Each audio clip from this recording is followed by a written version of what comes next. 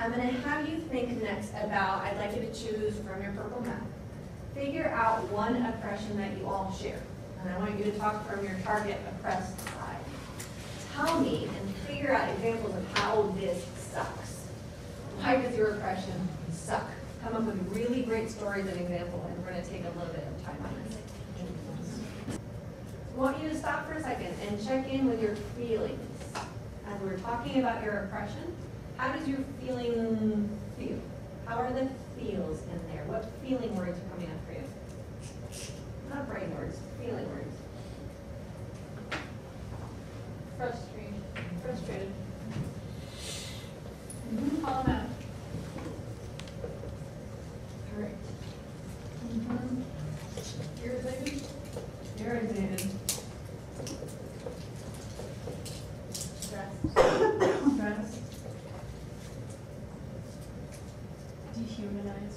Dehumanized. Dehumanized.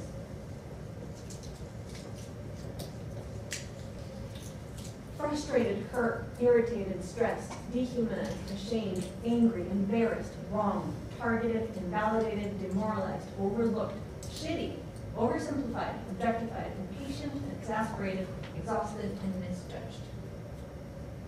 A lot of big feelings up there. I'm gonna switch tasks for a second, switch brains. Have you think from the agent side. So do the next few tasks, and think deeply about your agent side.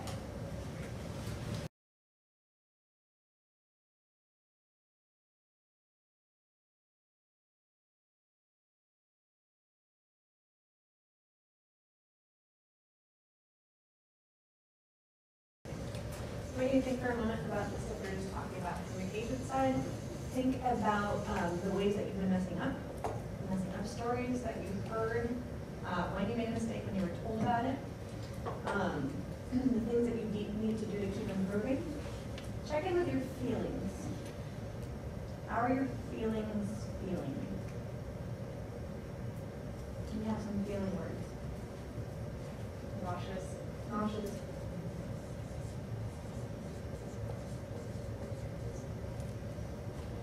Concerned. Concern.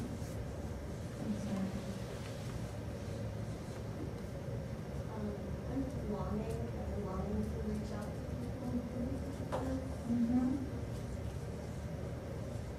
Disappointed. Mm-hmm. In self or something else?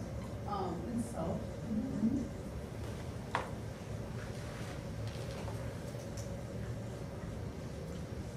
Mm-hmm. Ashamed.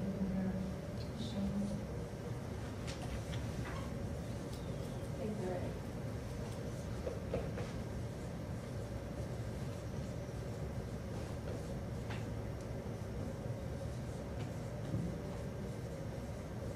Mhm.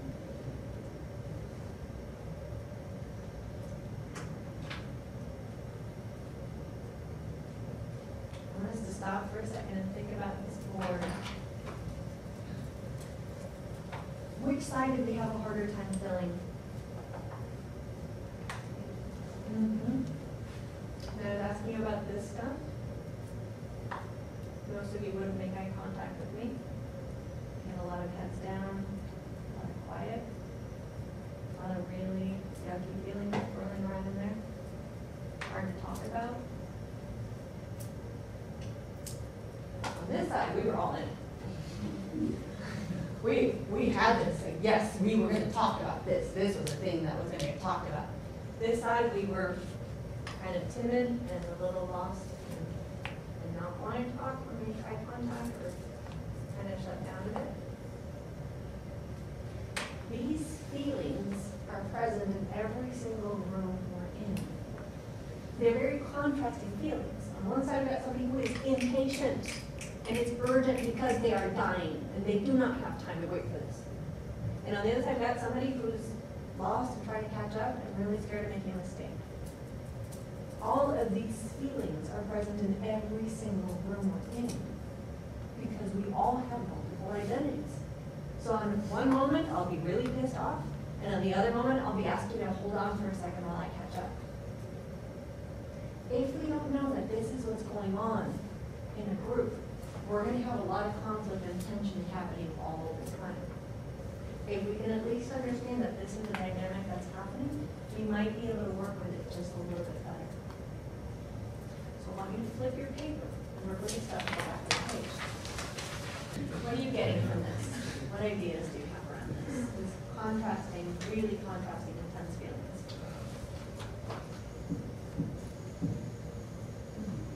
Well, we were talking about how like, on the first one, we were all really fired up, um, and on the second one, we were all kind of introspective, but it, the emotions are still just as intense. Mm-hmm. And anytime you have a bunch of people with very heightened emotions, you're gonna have conflict, people are gonna have disagreements, and instead of maybe in a normal situation, you would, you know, try and work it out and be mm-hmm. more understanding, you're gonna be really defensive, Mhm. both sides are. Mm-hmm. Awesome. We got some people who are gonna get really angry with good reason, we know why they're angry. And then they're gonna bring it up, and then we, we're likely to see a lot of defensiveness, especially on this side. Like, Well, no, I'm not, I don't, I didn't, I, I didn't say that, I didn't, I don't mean that, then all the things. Um, something we were talking about is for the conflict that could happen, we were talking about how like, when we were, when we were talking about our targets, we were talking about how we're impatient.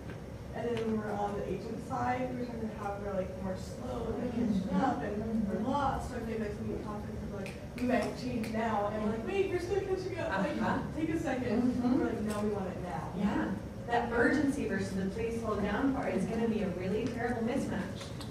Because we've got folks who are pretty lost and like trying and then screwing up here, and then, and then we have the folks who like do not have time for this thing anymore. That's gonna be a problem. Um, it's also difficult when you're trying to, uh, communicate something that's a problem and the agent interprets it as a hit on their character. Um, so in order to get the point across, it's, it's like, how much do you coddle the agent to keep them in a mental state where they're able to receive the information? Um, and I think that it's really beneficial to approach things from I statements Mhm. and from educational intentions Mhm. rather than, uh, personal attacks. So these folks are pretty lost. They need a lot of hand-holding and coddling because they don't know what they're doing. There's a thing called tone policing, by which you dismiss this side because you say that they're too angry. That you won't listen to them while they're angry, right? You're gonna catch more flies with honey than vinegar, right? This whole thing. If you say it's sweeter, I'll listen to you then. And, and you soften it and say, no, no, no, no, sweeter than that and you soften it again. And it's a great derailing. It's a way to not listen to these folks and say, I'm not gonna listen to you until you can say this calmly in a way that I understand. So that's a problem, because we know that dynamic there.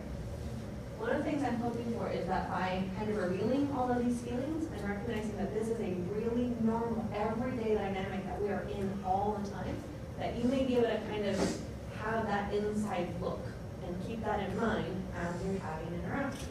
So that was the next prompt, which was, how do you keep yourself focused on humility? Because we know you're ignorant. How do you keep yourself really focused on humility and patience when somebody's coming at you angry? We know why they're angry. They have every reason to be angry. Somebody is yelling in your face. How do you want to show up in that moment? How do you stay focused? Mhm, Go ahead.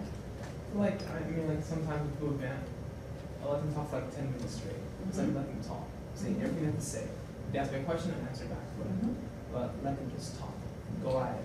Another thing you can do is like, basically don't gaslight the situations, Mhm. um, look from their perspective and Mhm. everything. Um, Like try to just understand what they're coming from. Like, Mhm. I get they're yelling, you're yelling, they say a lot of harsh things, but like, you know why they're doing it. Because they show that they, like, obviously they care about it because they're talking to you about it. Mhm. And they're showing that they want you to understand. They want you to, they just, they're just doing it in a way like that. And if you're uncomfortable with it, you- you're still gonna, just try to listen. And the funny thing was like, you were doing it to me, like you were trying to like jokingly do it, and I felt intimidated. Yeah. Like I was, like I was like, I knew you were doing this joke, but I still, I couldn't be eye contact. I was still intimidated, and I was like, uh-huh, uh-huh, uh-huh. The entire time. Yeah. Um, we gotta think about the fact that people are gonna come in angry at us, and it's gonna be real hard to get focused And so I kinda want you to pre-think it a little bit. We know that the typical defense, that the typical response is to get defensive and say, but, but, but, you're misunderstanding, that's not what I meant, that's not what I, right, you wanna argue, and you wanna defend yourself, you wanna defend your character, because somebody's just insulting you. I didn't insult you, I just said that word's not great. No, but you said I'm horrible. No, you didn't. I just said that word's not great. Um, when somebody's coming at you angry, it's really hard to stay calm, and we know why. So that's why I had the idea of, can you think of a little mantra or a little phrase that you could say to yourself in that moment? How you want to stay focused on humility. That's basically what I was gonna say was, uh, in the times that you're feeling impatient, remember the times when you were trying to catch up and vice versa. Because for every person who's coming at you with anger, you'll have to remember that there are things within yourself that you feel equally as passionate because everybody has that dynamic, just remember both sides of it and remember the times that you were on either side and approach it that way. And so kind remember that there's two sides here, and remember what the other side felt like, see if you can tap into that side. Mm-hmm. Jim? talking, uh, for me, you know, I'm black, first off, I'm a woman, okay, I'm oppressed, is what I thought in my mind. Mm-hmm. But I'm really not that oppressed, mm-hmm. like, you know, I don't, I have an able body. Right, so being a social justice teacher has taught me so much, so very much. Um, having to do this day in and day out with beginners all day, every day has taught me an incredible amount of patience. I used to be a lot less patient than I am right now, if you can believe it. Um, um, going through this and hearing some of the really horrendous things that my students have said to each other and to me, and recognizing like, I don't get to yell at them. That's not gonna help, I, I, I'm not allowed to slap them. I can't yell. And there, and there have been some amazing things said my way. And just having to stop for a second and breathe and say, okay, we're learning, and that was a mistake, and this is how we're gonna learn from that mistake. See if you can imagine that moment as you are really, really angry and trying to ed- educate somebody. See if that helps you think through it at all. We were just talking about over there, when I came out, you were really angry, just even demonstrating, like, "Oh!" See if you can offer somebody just a heartbeat of patience and see if you can try it from there. Sometimes that's not actually valid, sometimes that's not gonna work, and sometimes that's not the strategy, but sometimes it is. See if that's a moment where you can say, okay, I understand what it's like to be lost, confused, and worried about making a mistake. Let's see if I can explain it differently. And sometimes not. Make sure that you don't let people tone police you into saying, well, sweeter, sweeter, and sweeter, and sweeter, and then I'll listen to. So don't play that game.